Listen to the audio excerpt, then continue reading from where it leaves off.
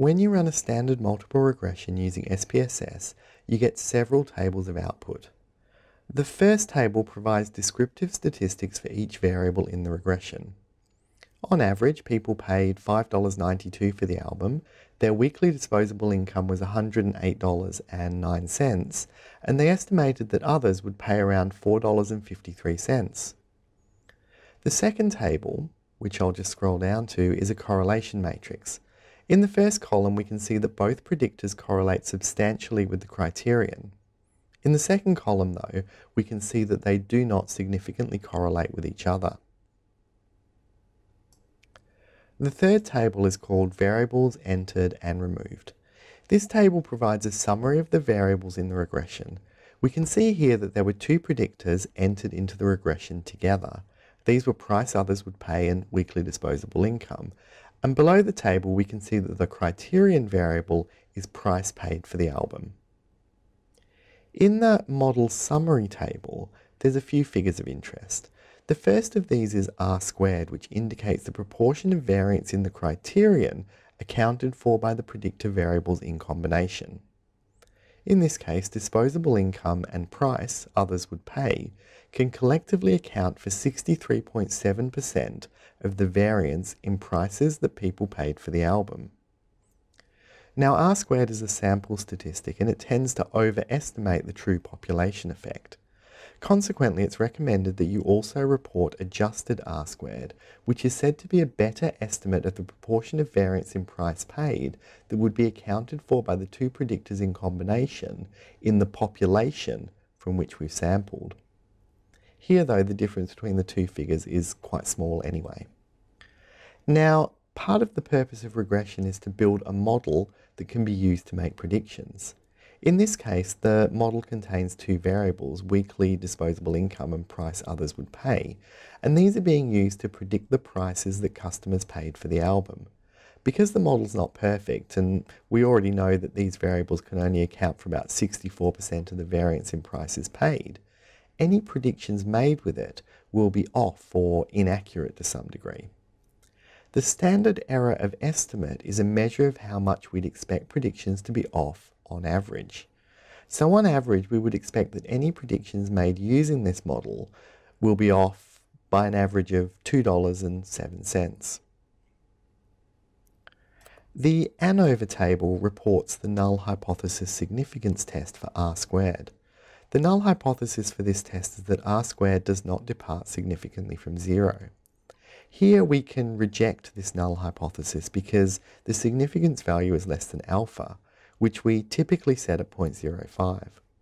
So in other words, r squared departs significantly from zero.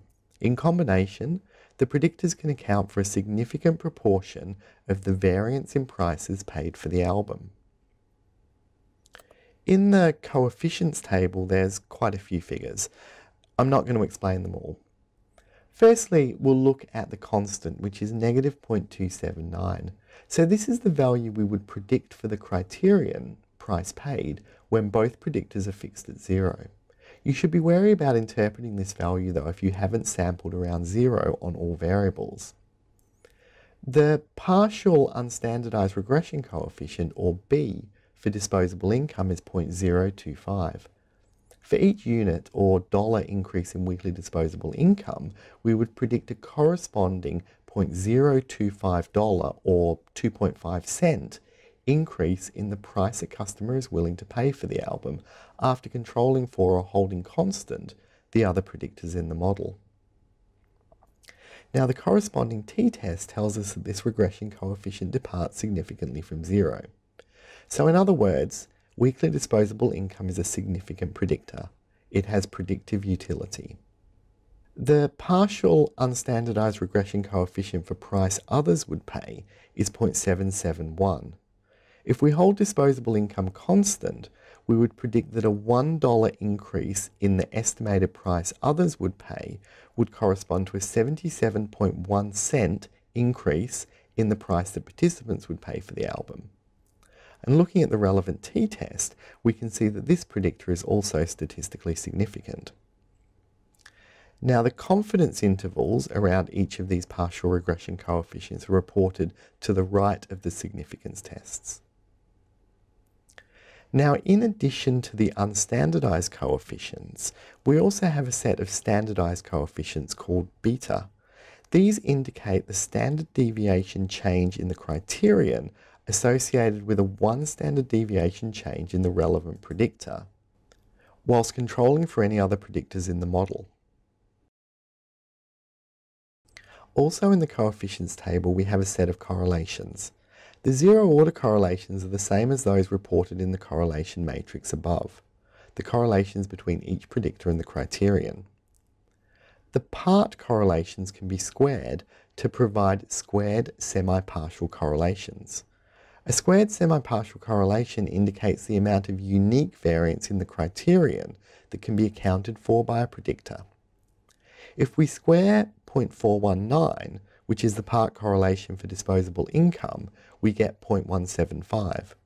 So in other words, disposable income can uniquely account for about 17.5% of the variance in prices paid for the album.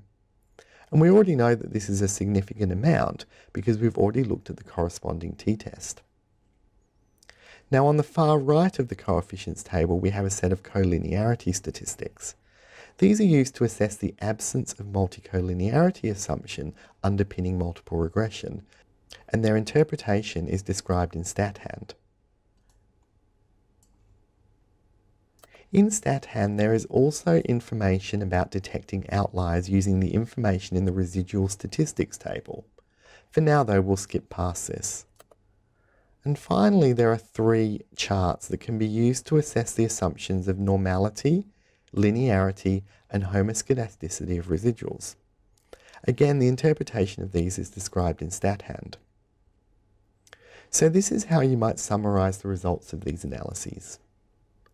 To estimate the proportion of variance in prices that customers would pay for the album using both weekly disposable income and customers' estimates of what others would pay, standard multiple regression was used. In combination, the two predictors could account for a significant 63.7% of the variance in prices paid for the album.